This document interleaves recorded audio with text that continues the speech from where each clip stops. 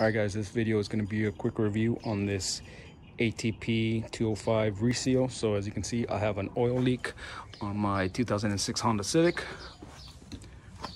So this is what I find every morning. And let me show you where I see it coming from. So here's a lower engine mount. And as you can see up there, there's a tiny drip uh, that's accumulating there. So instead of trying to replace gaskets, I'm gonna go ahead and try that uh, stop leak and see how well it does. All right, so recommendations for this is one bottle for every six quarts. Now, according to the manual, this holds 4.2 quarts. Um, what I'll do is I'll just go ahead and uh, put the whole bottle um, and see how it works out. According to them, you'll just put this into where the oil goes and in about 50 miles according to them the leak should stop. So we'll test it.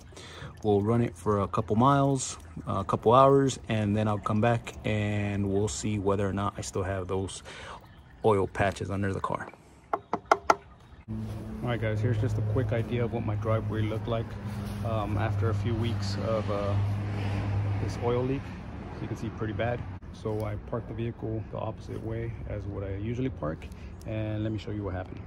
So here are the results of this AT205 reseal. Uh, about 48 hours ago, I drove it after putting the liquid inside. Uh, I drove for about 20 miles. I didn't get all 50 miles as uh, recommended, but I was gonna take it out the next morning. Um, what I did is I put a piece of cardboard underneath and two days ago, I saw this. So as you can see, absolutely no leak whatsoever. And that was only after 20 miles and about 30 minutes of driving. So what i did is i, I left it parked for the last 48 hours and still no leaks. So there you go. Um, it has sealed the leak for my case. Um, i do highly recommend this product. It uh, works on many types of seals.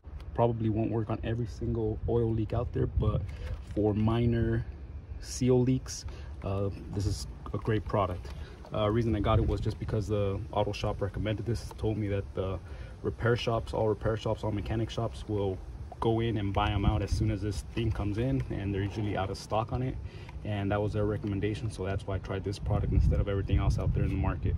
And it saved me a lot of money by not having to replace any seals or take it to a mechanic to uh, tell me where that uh, leak was coming from.